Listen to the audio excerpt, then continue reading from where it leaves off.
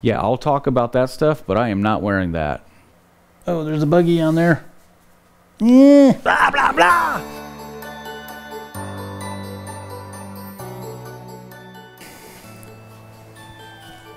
You sure this won't make me look stupid?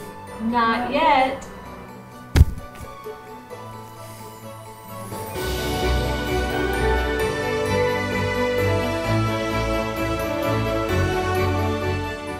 Hey, this is Chris with APS, and I want to give you guys our holiday schedule for 2020. I don't know about you, but I'm ready for this year to be over with. So let's get this over with because this suit is itchy.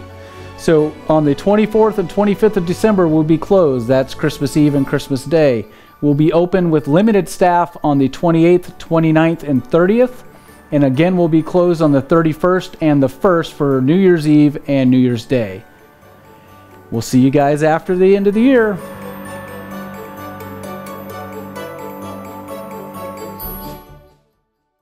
The best way to spread Christmas cheer is to sing loudly for all to hear. APS is having a sale. It's our year end sale. Order today. Don't delay because the year is almost away. Thank you. Thank you. I'm here all week. Jingle bells, jingle bells, APS all the way. The Husky sells, the S300 doesn't have bells, and our sale's going on today.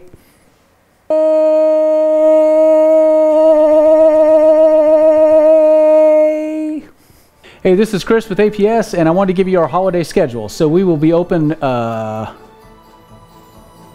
Rudolph the red-nosed reindeer had a very shiny. Here we go. This one's gonna nail it. When I was in the army, these were called birth control glasses, and you definitely can't put your eye out with these. That boy's good. That boy's good.